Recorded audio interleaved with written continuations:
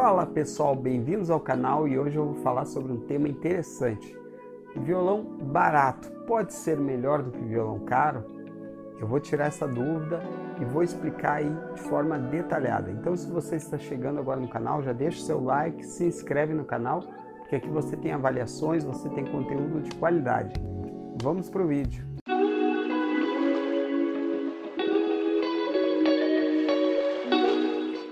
Então, pessoal, eu recebo muitos comentários aqui no canal de pessoas comentando em violões caros, dizendo que não gostaram, não acharam bom e dizendo que tinham violões bem mais simples e era muito melhor.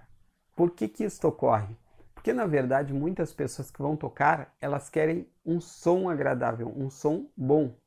Muitas vezes o violão é caro, mas está desregulado, não passou por um bom luthier, não está com cordas adequadas para aquele padrão de violão, então o som não vai agradar.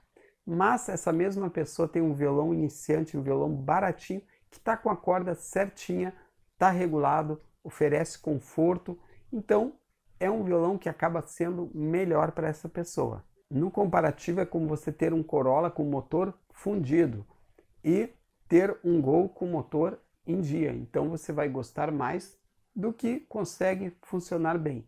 A mesma coisa violão. Tem violões caros que não estão em condições de uso. Muitos vêm da loja já de forma desregulada, não oferecem conforto, às vezes a corda já está oxidada. Isto porque muitas vezes o violão vem da China, por exemplo, vai para o importador, vai para o lojista e até chegar à sua mão a corda já destemperou, não está em condições de uso. Por isso que o indicado sempre que o luthier vai regular um instrumento é trocar a corda, botar uma corda de boa qualidade, porque assim ele vai ter certeza de que fez um bom trabalho. E se a corda não estiver boa, você acaba não dando tanta precisão na hora de fazer a regulagem. E uma regulagem bem feita é aquela regulagem que a corda fica próxima da escala, para que não ocorra microbends na hora de tocar. É uma regulagem em que o instrumento fique confortável, mas também não trasteje.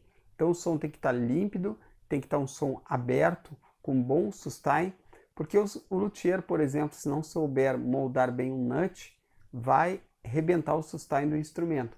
Então tem que estar todo ele certinho, aí você vai ter o máximo de qualidade no seu instrumento. Então não adianta ter um instrumento caro se não estiver em boas condições de uso. Pelo menos 50% da qualidade do instrumento é ligado a uma boa corda e uma boa regulagem. Não adianta gastar muito e querer economizar na hora de mandar para um luthier.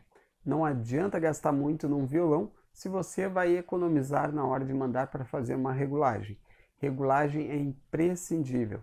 Então procure um luthier que tenha boa indicação, pesquise o preço, veja se você está pagando um preço adequado aí e faça uma regulagem do seu instrumento. Isso vai garantir que o seu investimento foi bem feito e que você vai ter um bom retorno sonoro. Não adianta gastar muito, tem que ter qualidade. Então esse foi o vídeo de hoje, espero que você tenha gostado. Se você gostou, deixa um like, se inscreve no canal e ativa o sininho de notificações. E a gente se vê no próximo vídeo. Valeu!